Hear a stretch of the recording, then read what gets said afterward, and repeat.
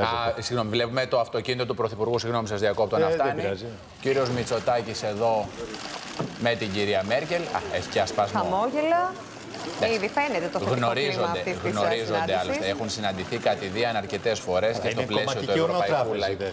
Σωστό και την προηγούμενη φορά που ο κύριος Μητσοτάκης είχε πάει στο Βερολίνο έναν παγωμένο Φλεβάρι του 17, το θυμάμαι γιατί ήμουν εκεί και είχα παγώσει, είχε πάει στα γραφεία του Τσεντεού και τα είχε δει. Λοιπόν, Με τα εδώ τιμών λοιπόν. το είδαμε και άγημα. το άγημα και τώρα βλέπουμε οι τους υπουργοί της επισήμους. κυρίας Μέρκελ, συνεργάτες της, Λοιπόν, ε, είναι το κλασικό τελετουργικό το οποίο γίνεται κάθε φορά που Έλληνα, ο, ο, ένας ηγέτης πηγαίνει για πρώτη φορά Ο στην κύριος Σταϊκούρας, καγκελαρία. αν α, βλέπω καθαρά από εδώ.